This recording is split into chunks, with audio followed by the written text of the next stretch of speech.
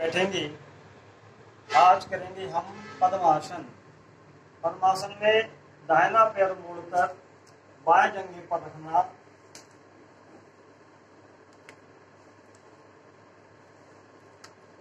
धीरे से बाया पैर मोड़कर ही दाहिने जंगे पर रखना। उसके बाद ज्ञान मुद्रा में आना।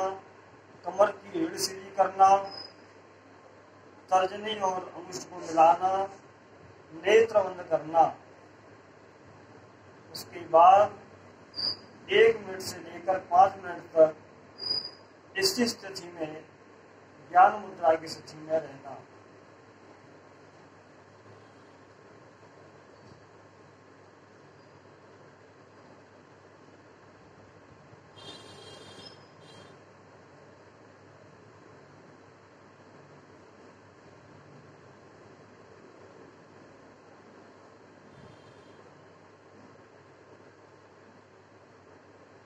के बाद धीमे से नेत्र खोलना, हाथों को बाजू में लाना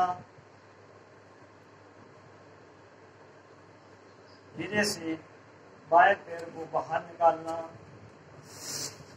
दाहिना पैर सीधा करना, स्वस्थ की स्थिति में रहना। इसके बाद सुख आसन में बैठना पद्मासन से होने वाले लाभ हमारे कमर का दर्द ठीक होता है, पाचन शक्ति बढ़ती है और हमारी इंद्रियों पर हमारा नियंत्रण रहता है।